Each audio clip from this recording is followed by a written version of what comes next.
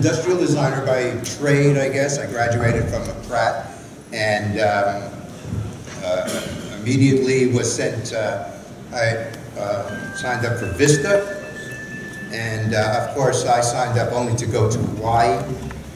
So I wound up in the smallest, uh, roughest Eskimo village in, in Alaska, Sleetmute, Alaska for a year. Had a hunt for my food, 50 below zero, unbelievable experience.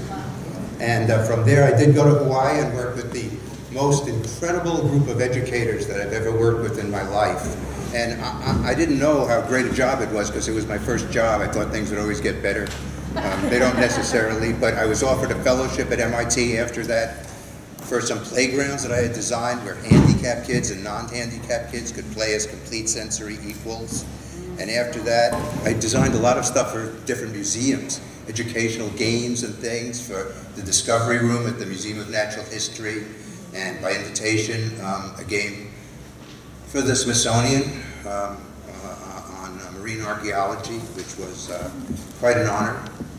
And uh, however, incredibly um, high class, incredibly low pay.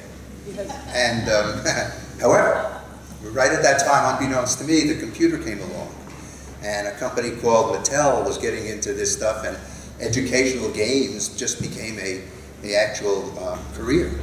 So they were flying me out to California treating me like I was somebody important. So I kept my mouth shut, and I wound up being the director of new concepts uh, like 10 years later at Mattel. I didn't have to do any of the Barbie or that kind of stuff. We worked with uh, uh, Negroponte and really some incredible stuff that, that we did that never got into the marketplace and other things that did. Uh, Caleb Chung, who was in our group, um, did Furby and uh, a lot of different things. And then from there I went to Educational Insights where I designed the CD-ROM for GeoSafari. And then uh, I started to write children's books and Random House published one of my books. I drew it and they liked my illustrations. They thought I was a primitive artist. And uh, that was a nice compliment, ruined me forever. and that's, um, I guess, what I do now. Right. So, I, and one of the words that I haven't heard a lot about today was story. And, and, and, and Warren said that he thought that story was very important in all of the things that you guys are doing. So I guess I'm here today to tell you a story. And uh, it's in ways about, uh, a lot of you are involved with production of things.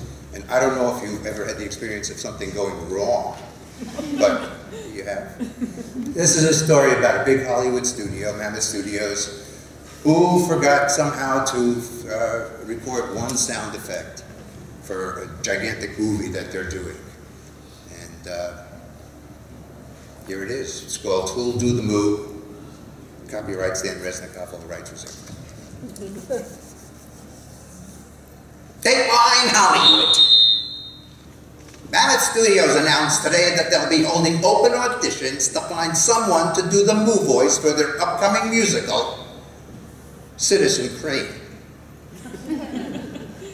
Hollywood insiders say that it's the role of a lifetime, and so, for the next 24 hours, the biggest question in Hollywood is, who'll do the move?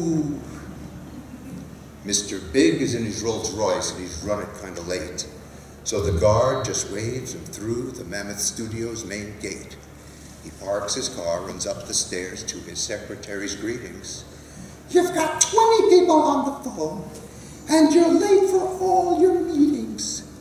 And the extras are all rioting on location in Peru. The animals are picketing our photo shoot out at the zoo. The copier's broken. Your did I forget to mention you've got Arnold still on hold? Now his secretary, did I mention that her name was Lynn, said, and Mr. Little needs to see you as soon as you get in. He said to mention to you that he didn't have a clue who or how or when they find someone to do the moo. The moo? I thought they had that solved at least a week ago. You know, somebody in this office absolutely told me so. Ah, Lynn, you better get me the whole script down from the shelf. If I want something done right here, I gotta do it by myself. And take out ads in both the trades for everyone to see. I mean, the Hollywood Reporter and Variety say, if it's you that do the move, apply for this position tomorrow morning, 9 a.m., at our big open audition. Well, the next day, everyone in town put on their coolest clothes, and they lined up by the thousands outside Mammoth Studios. Don't worry, Mr. Little. You see, I have a hunch. We'll find the perfect moor and be out of here by lunch. First in came the rooster. I'm here to make your day. Just show me to, the sound booth and send those other fools away. Okay, Mr. Rooster. Let's just hear you do the move. Well, the rooster stepped up to the mic and he went, hmm.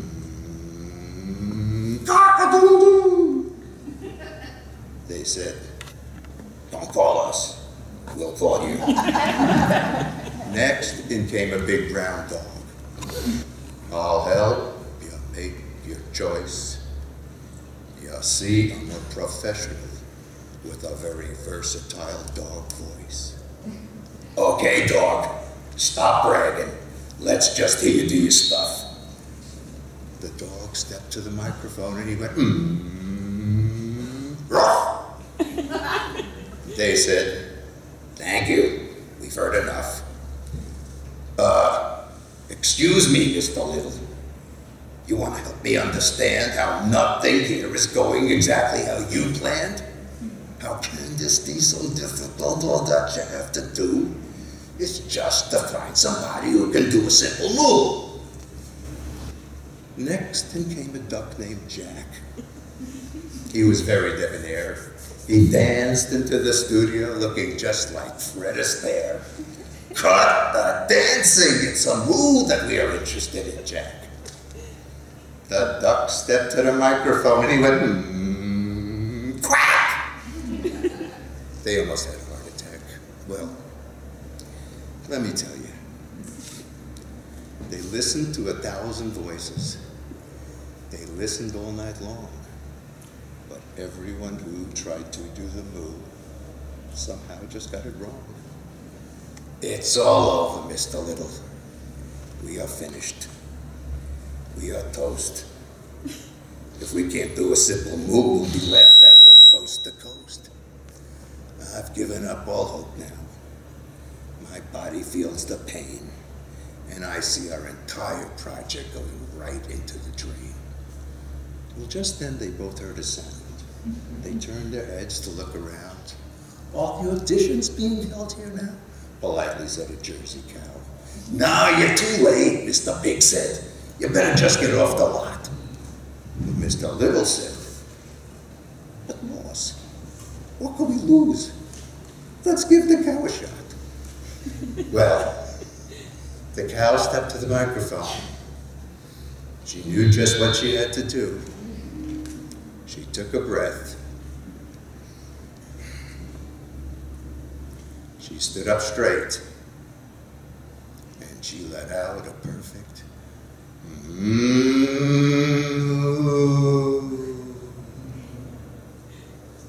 the audience was mesmerized. But when they regained their sense, they burst out into wild applause and shouted compliments. She's amazing. She's fantastic. Who's her agent? She'll go far. It's an Emmy. It's a Grammy. It's an Oscar. She's a star. Well, there you have it, Mr. Little. You know, you didn't have to worry. The problem with you, Little, is you're always in a hurry. You didn't have to tear your hair or to get angry or to shout. I told you everything would be just fine. Glad I could help you out. now, just when Mr. Big thought things were going really great, he heard his cell phone ring and felt his pager vibrate. Mr. Big, it's Lynn. Where have you been? Do you know what's going on? We've had problems and disasters every moment since you've gone. Oh, Hold your horses, Lynn. I'm on my way to wipe away that frown. And as Mr. Big stepped into the morning sun, he said, Lord, I loves this town. The end.